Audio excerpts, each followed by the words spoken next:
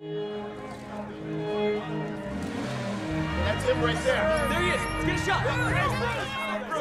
Who's that? You must be new. That is Bruce Wayne. Mr. Wayne. Clark Kent, Daily Planet. What's your position on the Bat Vigilante in Gotham? Civil liberties are being trampled on in your city. People living in fear.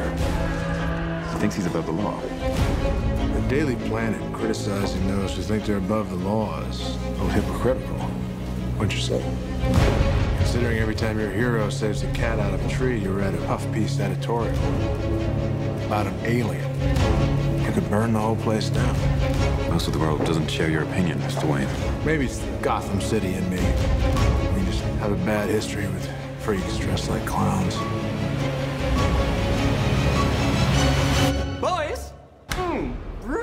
Bruce meets Clark Kent. Ah, I love it. I love bringing people together. How are we? Lex? Hi, hello, Lex. It is a pleasure. Ow, wow, that is a good grip. You should not pick a fight with this person.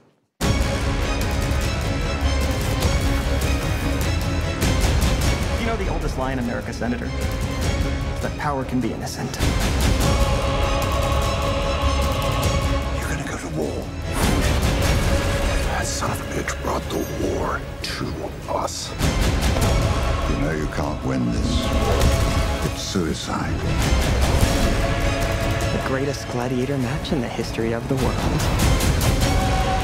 Son of Krypton versus Bat of Gotham. You're psychotic. That is a three-syllable word for any thought too big for little minds.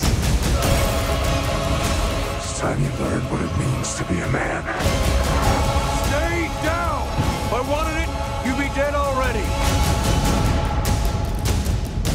Man won't kill God, the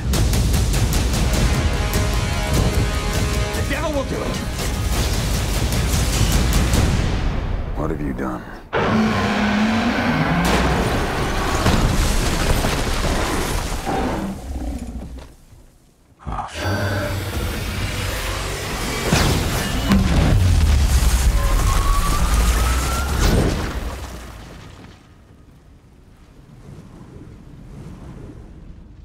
She with you? I thought she was with you.